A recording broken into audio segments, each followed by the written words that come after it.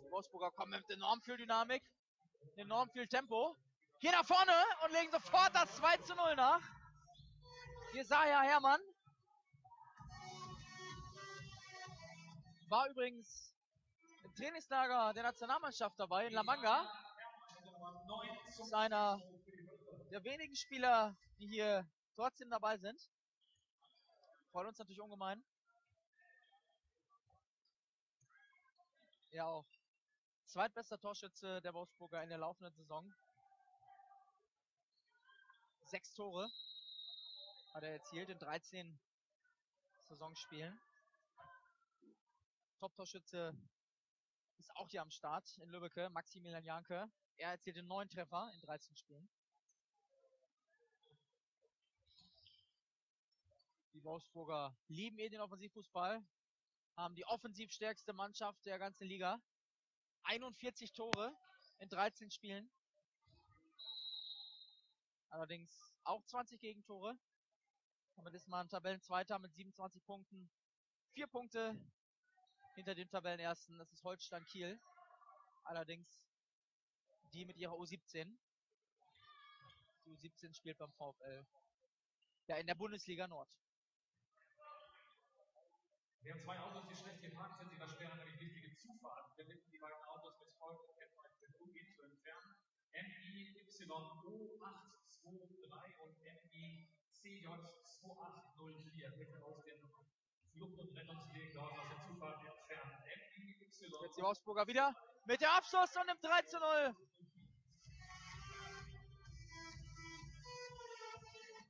Bruno Rümmler. Netz ein für die Wolfsburger. Richtig, richtiges Gas. 3-0 ist Bruno Wir haben noch keine fünf Minuten gespielt. Nürnberg wirkt noch, noch richtig wach in diesem Turnier. Jetzt mal quer gespielt, aber auch da die Ballverarbeitung nicht wirklich gut. Ball nochmal zurückgelegt und der Ball geht über das Tor. Also Wolfsburg setzt hier ein Ausrufungszeichen in den ersten Spielminuten. Die zeigen, dass mit ihnen zu rechnen ist.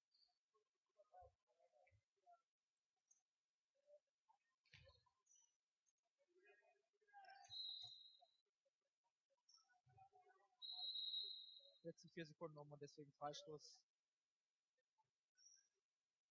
Für Nürnberg gepfiffen von Michael Walker.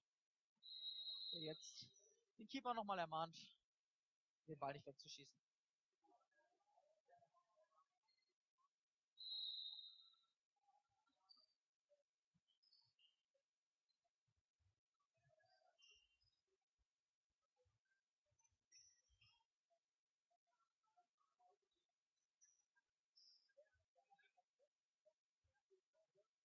Ja, die Wolfsburger tauchen jetzt mit zwei gegen null vom Tor auf, aber die Rückgabe kam nicht ganz perfekt an.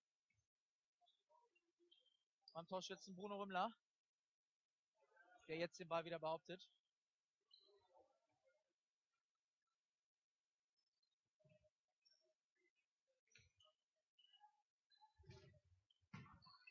Der Ball über das Tor. Maximilian Janke. Über den Katzen.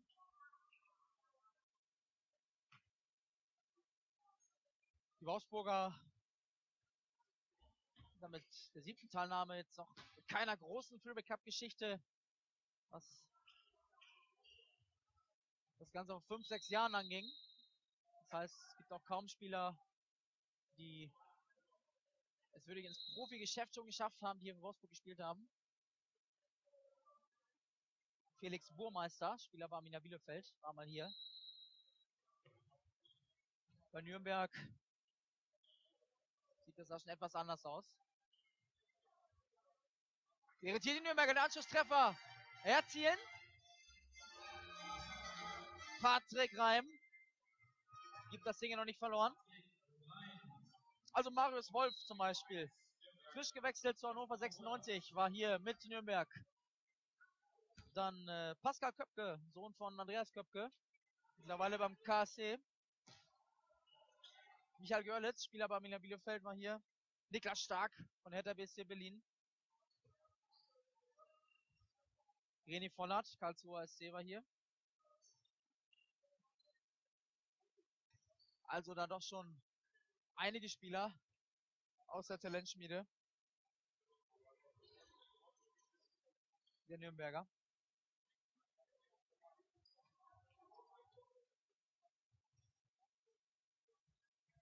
Im Übrigen die Franken ein gern gesehener Gast hier in Lübbecke. Bei den Organisatoren sehr beliebt. Nächste Möglichkeit hier wieder von Wolfsburg. Oh, und das war fast ein Musstor. Tyson Richter. Etwas zu lässig im Abschluss.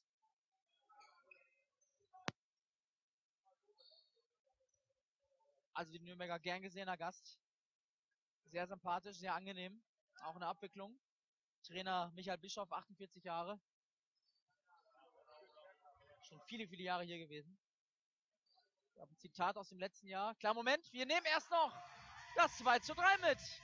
Auch Nürnberg beweist Comeback-Qualitäten.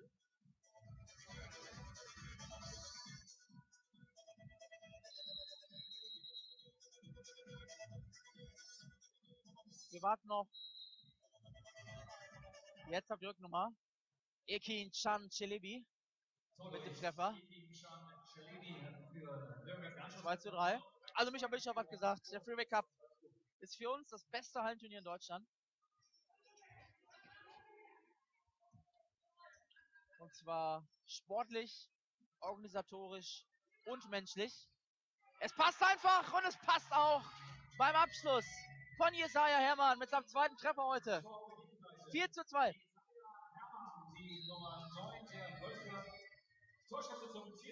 Es geht also heiter weiter in Sachen Torabschluss.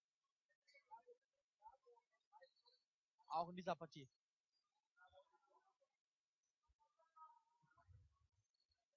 Das war eine gute Parade von Antonio Brandt. Sein Namensvetter übrigens gegenüber am Tor, Jonas Brandt. Allerdings der Wolfsburger Keeper mit DT, also können wir eine Verwandtschaft hier ausschließen.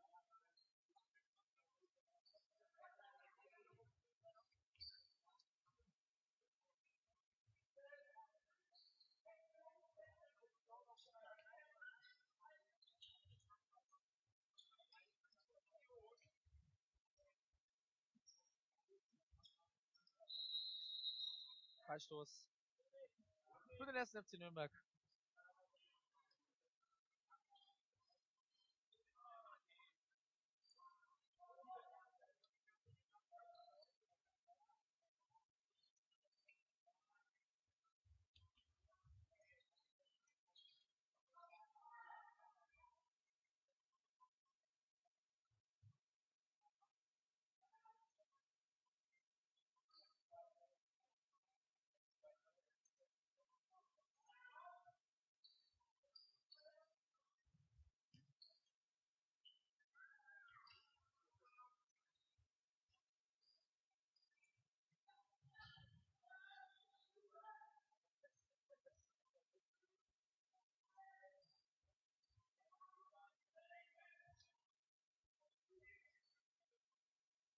Blockwechsel bei den Wolfsburgern.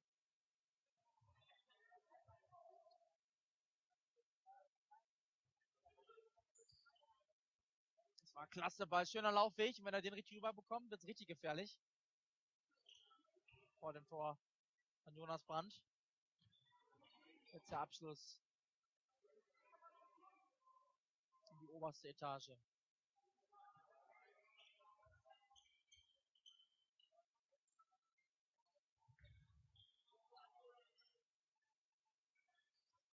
Parade vom Rand.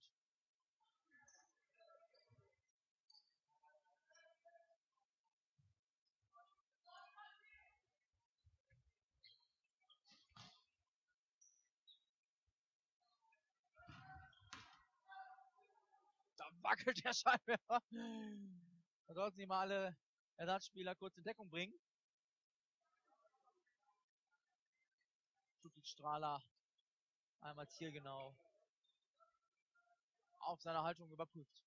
Jetzt die Nürnberger. Tolles Solo. Drei gegen zwei Überzahl jetzt, wenn es schnell geht. Aber dann wird der Ball nicht quer gespielt. Abpraller landet jetzt beim Nürnberger Spieler. Da war mehr drin.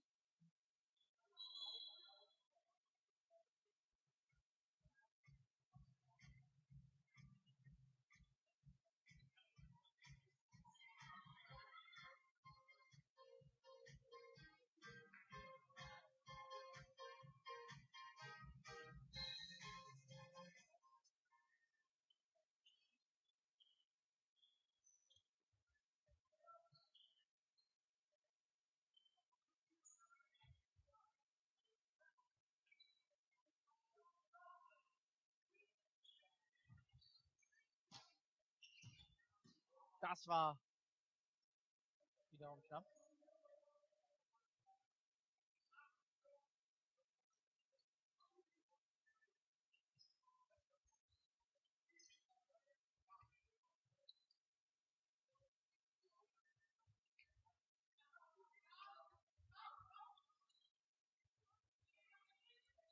Jetzt die Überzahl an der Bande nochmal ausgespielt, aber wieder Brand. Also beide Keeper machen hier einen tollen Eindruck. Trotz schon sechs Tore, die gefallen sind. Wolfsburg versucht immer mit schnellen Bällen in die Spitze zu kommen.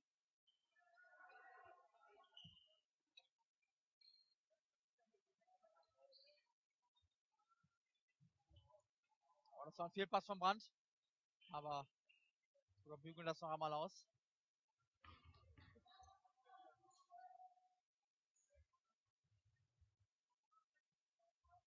Mal quer gespielt, wieder das Brand zur Stelle.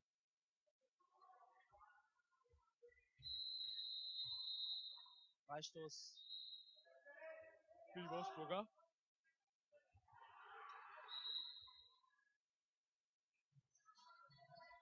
Jetzt kurze Behandlungspause.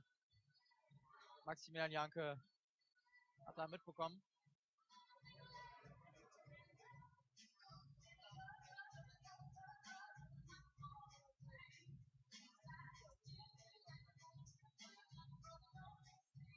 Die Jungs sollen Spaß haben und vor allem gesund bleiben. Das sagte Reiko Fialek vor dem Turnier. 42-jähriger Trainer der Wolfsburger.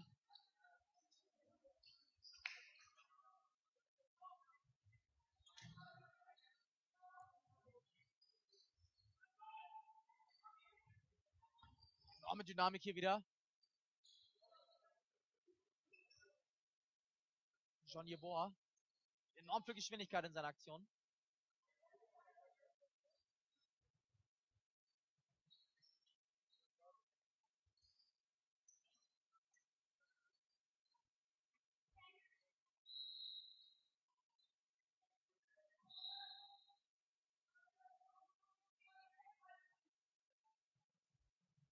Zeit wieder angehalten.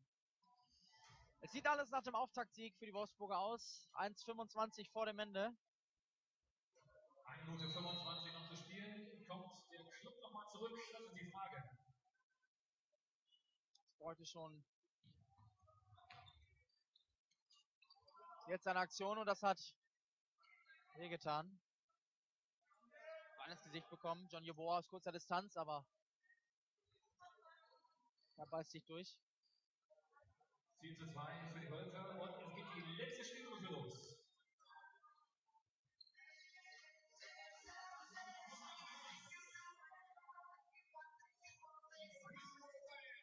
Die Sekunden Zeit, um noch zwei Tore zu erzielen. Das ist in der Halle ohne Probleme machbar. Es gibt jetzt nochmal Freistoß für die Nürnberger. Aber schlampig gespielt. Trotzdem bleiben die Nürnberger am Ballbesitz. Josef Bajic, der hier gefault wird. Jetzt der Abschluss, das war ganz knapp. Nochmal Eckball. Der Treffer müsste schon jetzt anhand dieser Ecke fallen. Aber dann dauert es etwas zu lange. David Pisano soll diese Ecke ausfüllen. Ballverlust. Jetzt die Wolfsburger. Cesasi. Cesai, Entschuldigung. Geht aufs Tor zu, Ball nochmal abgeblockt vom Brand. Freistoß Nürnberg, aber nur noch 20 Sekunden zu gehen. Das wird jetzt mehr als knapp. Also, wir legen uns mal fest. Der VfL Wolfsburg gewinnt sein erstes Spiel, insgesamt verdient, besticht mit toller Offensivpower, mit großer Dynamik.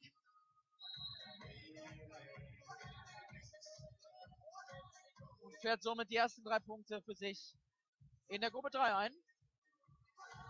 Legt einen guten Turnierstart hin, aber die Nürnberger 9 Sekunden vor dem Ende auf 4-3. Josep Bajic. Ja, wie Sano, wenn er mal 10, 4 zu 3, der Abschluss. Das wäre wenn ich mich hier aus dem Fenster gelehnt hätte.